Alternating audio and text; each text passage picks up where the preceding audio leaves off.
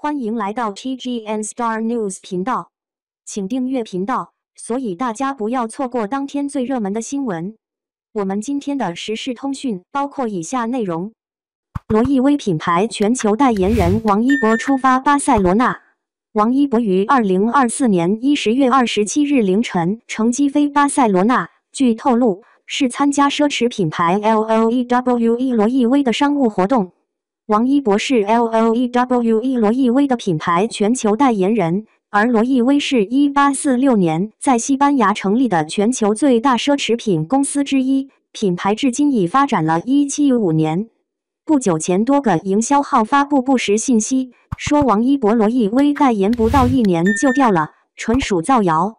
王一博的商业价值高的一骑绝尘，也是国内最具时尚价值的男演员。王一博作为唯一在榜的中国籍明星登上两千零二十四 BOF 五百强 Business of Fashion，横跨香奈儿和 LVMH 集团，同时拥两大奢侈品牌的最高 title。一十月一十七日的 Vogue 时尚之力盛会上，王一博身穿罗意威两千零二十五春夏超级西装攀岩，Vogue 晚宴香奈儿中国区 PR 坐在他身边，营销号造谣王一博的时尚地位大可不必。